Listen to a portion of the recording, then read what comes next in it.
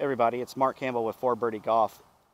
I've posted a video about how to build torque in the swing and gotten some comments on what do I do if I lose that feeling. So let's go back to some of the mechanics behind it.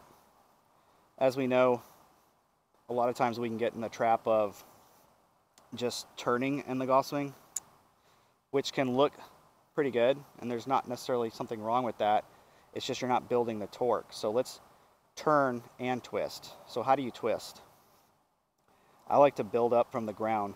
So having the weight in the ball of my foot on the left side, maybe a little bit further back on my right side. And if you if you practice this and feel that, you're going to be building up from the ground. So I transfer power from my left foot into the middle of my right leg, my left knee into my right thigh.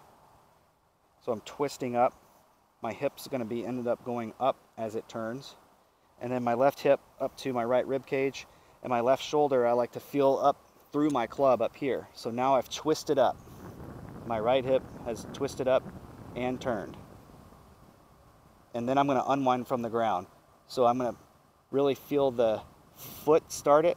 Then my left knee is going to unwind, followed by my right knee. And now my right quad is really getting engaged. And now my hips in my chest area and shoulders start to follow and then here comes the club. And look we got into a good impact position. Now my left hip's doing the opposite. It's rising up as it turns and I can go ahead and release through the ball. So the key there is not just the turn but we're going to turn and twist up. And that's going to create an opposite reaction down through the ball. And that'll help you get the torque you're looking for I hope that helps. If you have any questions, comment below. Good luck out there.